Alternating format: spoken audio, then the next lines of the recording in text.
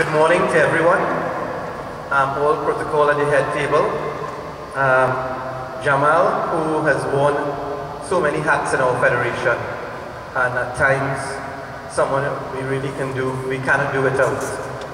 What I'd like to do, our experience, which started next week, was an started last week, was an amazing experience. One, when we started, we did not know what we were getting into.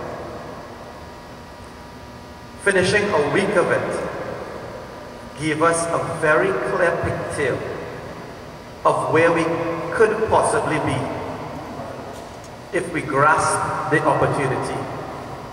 Where did it start? From three amazing gentlemen who all carries their own personality. You know, we say a Dutch vision. It's a Dutch vision within each instructor's personality.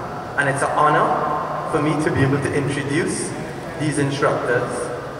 And not just a name, but let them say something because I thought we were in awe.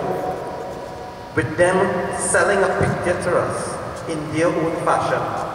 So what I'd like to do is all three instructors, one at a time, and we'll start with the one closest to me, and he's even more of an example to where we could possibly be coming out of the Caribbean. And it, it gives us an incentive and a drive and a goal where we can possibly reach. So first I'd like if Mr. Etienne Silly can come say a few words. Good morning. For me, it is not the first time that, that we are in this environment. It started maybe 18 years ago, maybe 20, then let me talk about 20.